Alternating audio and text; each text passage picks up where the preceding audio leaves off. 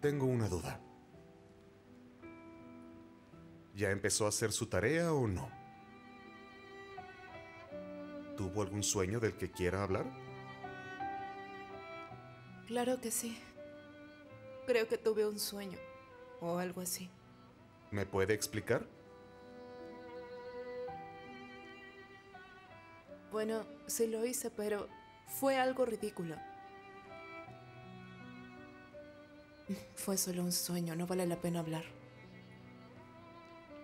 En realidad nuestros sueños no son solamente un sueño. Los sueños dicen muchas cosas sobre nosotros. Cuentan las cosas que nuestra alma no sabe o nos es imposible casi siempre externar. Piénselo así.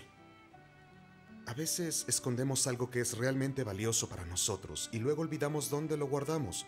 Nuestro subconsciente es el almacén secreto. Nuestro cerebro pone todas las cosas que encontramos lo suficientemente valiosas y las esconde de nosotros. Así que los sueños son la única manera de encontrarlas. Hay dos cosas por las que los sueños existen. Nos señalan las cosas a las que tememos y escapamos, o las cosas que nos gustaría que se hicieran realidad. Ponemos atención a los sueños simplemente para conocernos a nosotros mismos, encontrar lo que dejamos en el almacén e intentamos resolver todas las pistas que ellos nos dan. Ya recordé. En mi sueño estaba haciendo albóndigas. Quiere decir que le temo a las albóndigas o que quisiera comer albóndigas, ¿no es así? ¿No cree que suena un poco ridículo? No.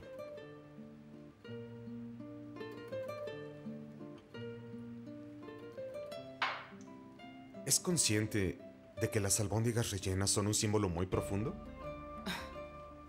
¿A qué se refiere? Pensemos en la estructura de ellas. Tienen una capa exterior resistente y en su interior hay un ingrediente más suave, ¿verdad? Esconden algo en su interior. Si lo que quiere es que tenga buen sabor, comerá el exterior. Me refiero a la capa de carne que está afuera. Si esa no existiera, no podría saborear todos los ingredientes.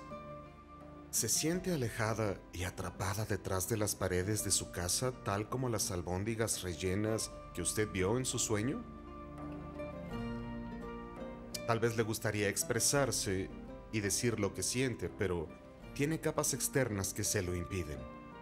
¿Es posible? Pero no entiendo qué tienen que ver las albóndigas con todo esto. ¿En serio sacó todo eso de unas albóndigas? Esa es la magia de los sueños.